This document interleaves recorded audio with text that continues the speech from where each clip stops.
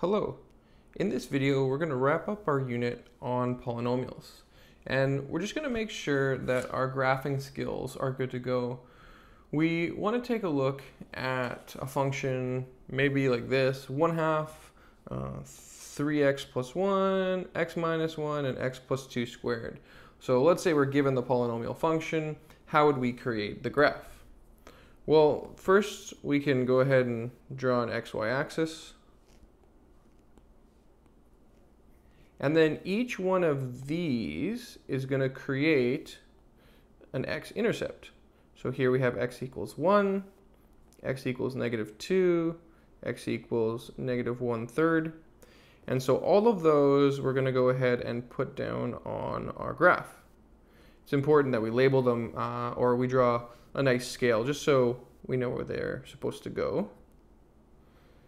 Now, from here, we know it's going to be some kind of like spaghetti shape, right? Something like that. But uh, we need some, some more detail to it. And in particular, it's nice if we can find the y-intercept. The y-intercept will help give us some more detail to the graph. And we find that by calculating f of 0, which will be 1 half times uh, 1, negative 1, and 2 squared. So that'll be 1 half negative 1, 4. So that'll be negative 4 over 2. So negative 2. Okay, so we can put that down here at negative 2. And then we just want to look at the behavior for each one of our intercepts. This one, because the degree here is 1, I mean, there's no number, so we know the degree is 1.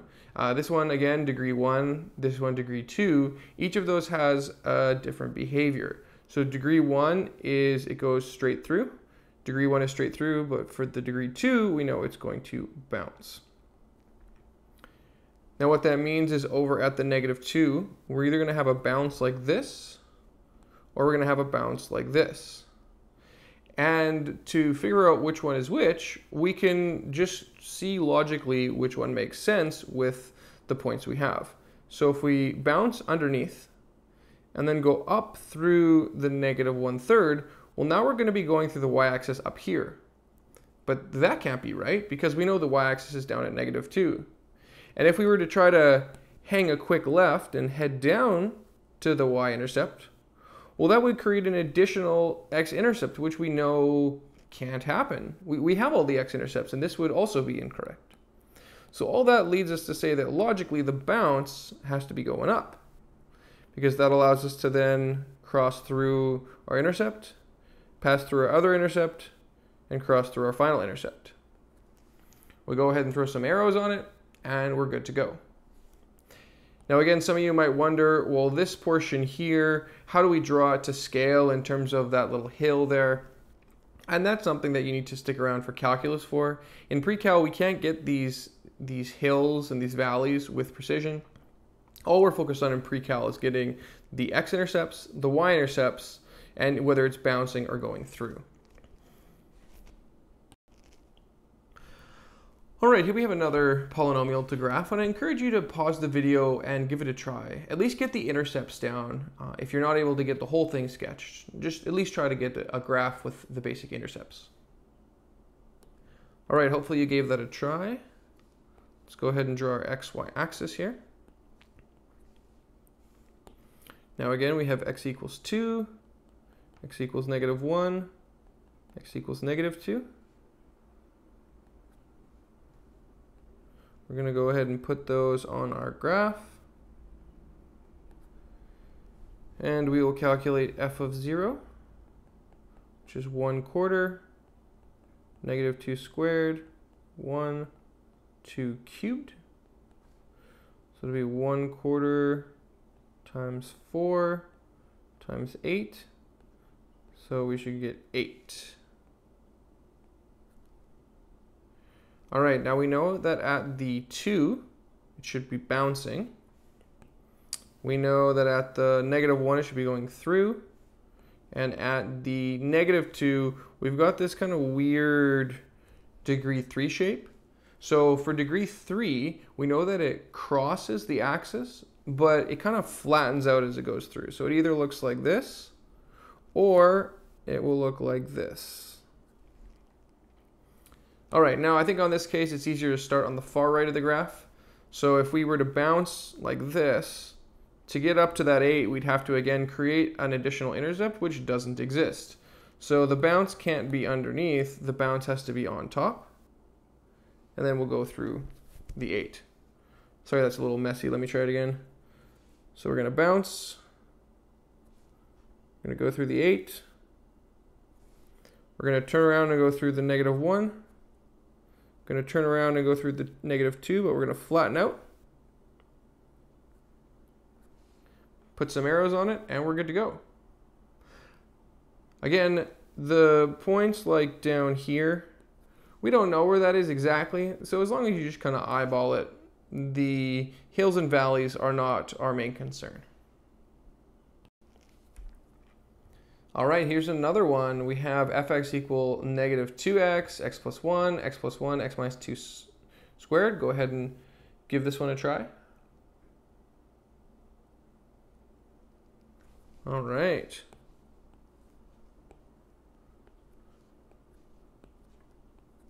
So we've got, well, this x in front gives us x equals 0. That's kind of weird. It's a x-intercept, but it's not in brackets. Um, but we got to watch for that. That's going to be one of the x-intercepts right there at 0. Uh, x equals negative 1, x equals negative 1. Oh, that's kind of silly. It, it's almost like we should cross this one off and put it squared. It wasn't written in its proper form. Well, we got to watch for that because it will change the behavior. Negative 1. And then here x equals 2. Okay, now when we go ahead and find f of 0, we get negative 2 times 0 1 squared, negative 2 squared, negative 2. Oh, well, it's times 0. It'll just be, just be 0. Oh, okay. This is a little weird. So it looks like the y-intercept is also the x-intercept. So this point right here, this is the y-intercept and the x-intercept, and that means we're going to have a little bit of trouble graphing this. Now remember, at the 2 and at the negative 1, it's going to bounce because of these degree 2. So it could bounce like this, and then cross through. Oh, I guess maybe. Let's see, it could bounce like that, cross through and bounce. No, that, that seems good. But it could also bounce, cross through, and bounce.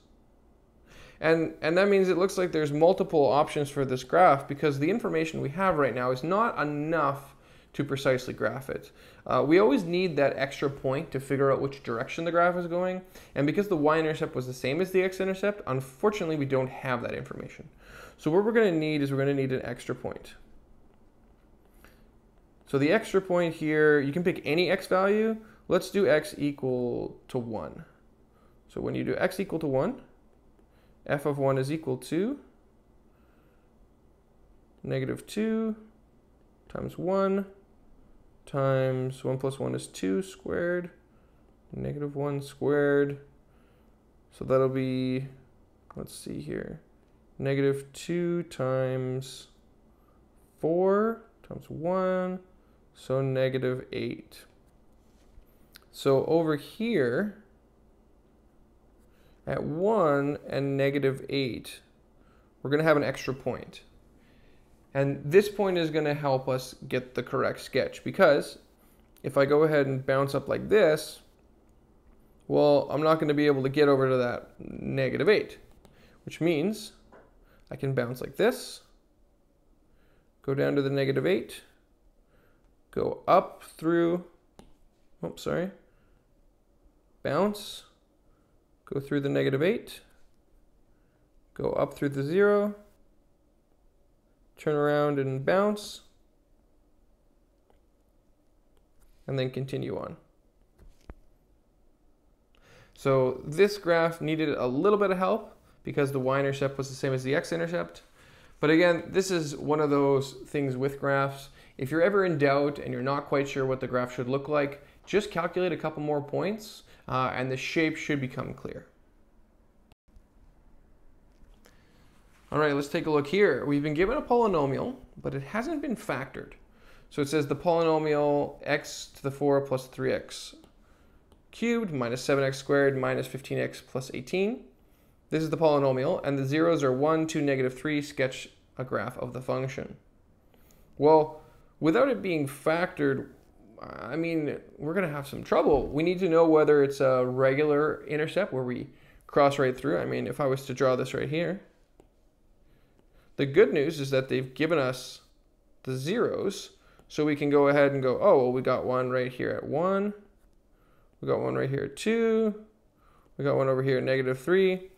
But we don't know. Is it bouncing here? Or is it crossing through? Just telling us the 0 doesn't tell us the degree of the 0. And so we're going to need we're going to need a factored version of the function. So let's go ahead and set up a little synthetic division on the side here. We'll do 1, 3, negative 7, negative 15, and 18. Now, thankfully, we've been already giving the zeros, so we can use any of these zeros to help factor our polynomial. Let's use the number 1. So this should be pretty straightforward. Go ahead and do our synthetic. All right. Uh, and then we'll go ahead and do the next one. So we can use maybe the 2 there. 2 times 1 is 2, 6, 12, 9, 18, 0.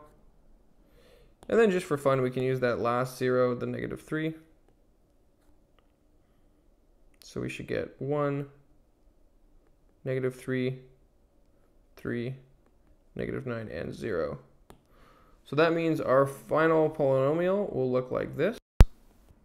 x minus 1 for this term, x minus 2 for this term, x plus 3 for this term, and x plus 3 for this term. Which again, we want to write it properly where we have the two x plus 3's grouped together. And that tells us that this root right here, the uh, 0 of negative 3, that's the one that's got degree 2. That's the one that's going to bounce. All right, let's also find that y-intercept. So f of 0 should be negative 1, negative 2, 3 squared. So it'll be 2 times 9, so 18. Just as a fun fact, that's actually the number right over here, that 18. Uh, and that kind of makes sense because if you went back to your original function and you plugged in 0, well, this would disappear, this would disappear, this would disappear, this would disappear, and you, you just end up with the constant value at the very end, the 18. So if you have a polynomial written like this and you're wondering what the y-intercept is, in this form, you can actually read it right off the polynomial. It's just going to be that final number, the 18. But again, that's just a nice insight. You can always calculate it by hand by calculating f of 0. All right, back to our graph. So we've got our 18 up there. And again, I'm going to start from the left this time, I think. So we know we have to bounce at the negative 3. So I'll bounce like that. Got to go through the 18, cross through the 1, cross through the 2, throw some arrows on it, and we're good to go. All right, let's go ahead and take some notes on this. So we are graphing polynomials. And the basic steps for this are well, you plot the x-intercepts. So remember, if you have something like x minus 4, that means you have x equals 4 as your value. Or if you have something really weird, like 3x minus 2, or plus 2 even, then you would have x equals negative 2 over 3. Then you plot the y-intercept, and that's f of 0 equals some number. And then you watch for the degree. Because something like, you know, x minus 1 will be different from x minus 1 squared, which is different yet from x minus 1 cubed. Here, let me just move this line down here, and I'll just show you. x minus 1 would look like this. x minus 1 squared would look like this. And x minus 1 cubed would look like this. All right, so for an example here, why don't you graph y equals negative 2 x minus 1 cubed, x minus 2 squared, and x minus 3. And if you want to check your work, you can always type it into Desmos and make sure your graph looks like the picture on Desmos. Again, for this section, you choose your own example. And here you can write down any things to remember. One thing I might add is that if you have y equals something like this, 3x and then x minus 4, x plus 2 squared. This is, uh, this is always a little weird. This right here will be an extra x-intercept even though it's not in brackets because it's a value that makes the function zero it's it's x equals zero and it means you will you will need an extra point because the y-intercept will be the same as the x-intercept and it won't help you out. Now, just before we wrap up the video, I want to show you a couple other things that didn't really make it in to the unit they're sort of just extra ideas that you might have picked up as we were talking about the polynomials, but I really wanted to make sure that everyone's clear on some of these terms. So let's look at the degree. Okay, remember the degree of a polynomial, the degree is the highest power of x. If we're talking about the degree of a, of a root, that's just the power on the root. So if we look down here, the degree of this root is degree 2. But if we're talking about the degree of a polynomial, it's the highest power of that polynomial. Uh, the other word I want to look for is the leading coefficient. The leading coefficient is the number in front of the highest power. Okay, so let's look at these two examples. In the first polynomial, we have x squared plus 2x plus 1. What's the degree? Well, I think the degree is pretty obvious. The degree is 2 because the highest power of x is x squared. What is the leading coefficient? Well, it's a little tricky because it's invisible, but I think most of you can see it. The leading coefficient would be a 1 because right here there's an invisible 1 in front of the x squared. All right, the second example, though, is definitely tricky. So here we have a polynomial that's been factored. And when a polynomial has been factored, it's a lot harder to determine the degree and the leading coefficient because, it, well, you can't see uh, which, which power of x is largest. What you could do, though, is you could use a little bit of logic because I, well, I mean, what you could do for starters is you could just multiply the whole thing out, but nobody really wants to do that if we're just asked for the degree. Is there a way we could get the degree without multiplying it out, but just kind of like mul multiplying it in our heads? The, maybe the, the one term, could we be sneaky about it? Let me show you. If I write it like this, once we multiply it all out, we're going to have a bunch of different terms. But when the 2x multiplies the 3x and then multiplies the 3x and multiplies the x, that's going to be the term that gives you the most x's. So when we do multiply that, we're going to end up with x to the 4. Maybe you can kind of see that already because this factor or this 0 has a degree 1, this has degree 2, and this has degree 1. So the overall degree of the polynomial is going to be 4. Whichever way you look at it, the degree is going to be 4. Okay, but but how could we figure out the leading coefficient? Again, it feels like maybe you'd have to multiply it all out, but but there's again a shortcut here. When the 2x multiplies the 3x, you'll have 2 times 3, which is going to be 6. Then we have another multiply by 3 and a multi multiply by 1. So 2 times 3 times 3 times 1 is what that largest term, largest power of x will look like. And 2 times 3 times 3 times 1 is 18. So the first term, the, the highest power of x, even though we didn't multiply all the other powers of x, the highest power will be 18x to the 4. And so that means that the leading coefficient will be 18. You could do something similar if you were looking for the constant term here. If you wanted to find the very last term, there's a way to kind of trick the multiplication so you don't have to do all the work. You could grab the 1, the negative 1, the negative 1, and the 5, and all of those would multiply to give you your final term that has no x, which would work out to positive 5. That would be the constant term. That's just a little bonus there if you were wondering. All right, let's look at another quick idea that didn't quite make it into one of the lessons.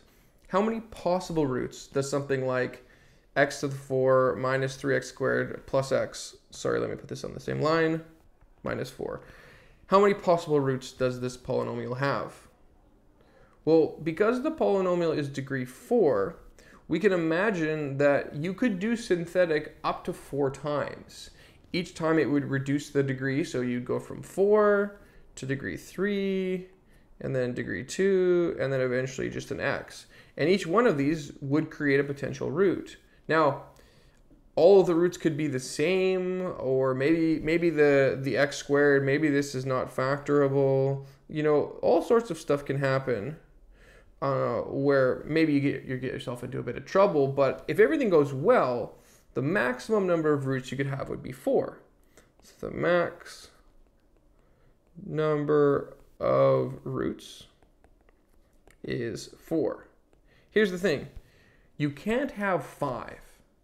There's no way that you could take this polynomial and do synthetic and end up with 5 or 6 or 7 roots. It's just not possible. You have a maximum number that you can guarantee. The maximum number of roots is 4.